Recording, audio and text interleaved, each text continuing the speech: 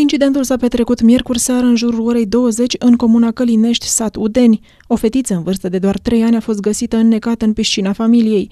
Părinții au solicitat ajutorul medicilor, apelând numărul unic de urgență 112. Ambulanța a ajuns la fața locului, iar medicii au preluat-o pe micuță cu manevre de resuscitare.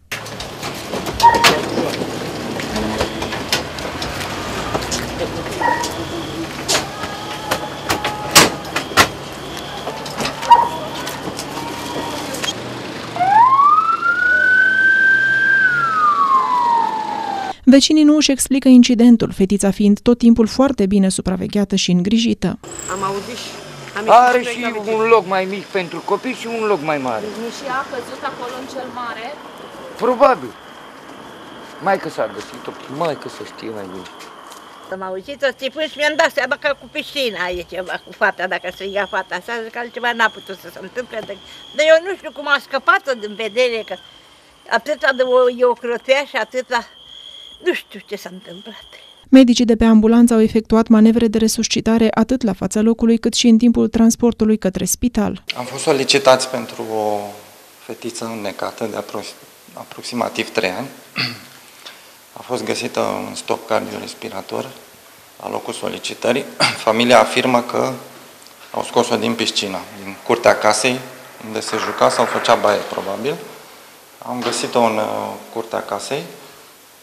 Uh, S-au inițiat manevre de resuscitare cardiopulmonară uh, și s-a transportat cu manevre în curs de resuscitare la camera de urgență de la Spitalul de Pediatrie.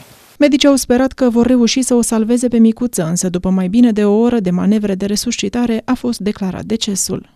Ța a fost resuscitat aproximativ o oră. S-a prezentat în jurul orei uh, 20.45. Manevrele de resuscitare s-au încheiat uh, la ora 22, deci o oră și un sfert. Nu s-a mai putut face nimic. Nu, din păcate nu s-a putut face absolut nimic. Ea a mai beneficiat de manevre de resuscitare și la fața locului, efectuate de către echipajul de ambulanță și pe durata transportului. Din păcate nu a răspuns deloc la manevre și am fost forțați să declarăm decesul. Pentru a putea reacționa cât mai bine în astfel de situații până la sosirea cadrelor medicale, acestea sunt de părere că sunt folositoare cursurile de prim ajutor pe care fiecare dintre noi le poate urma.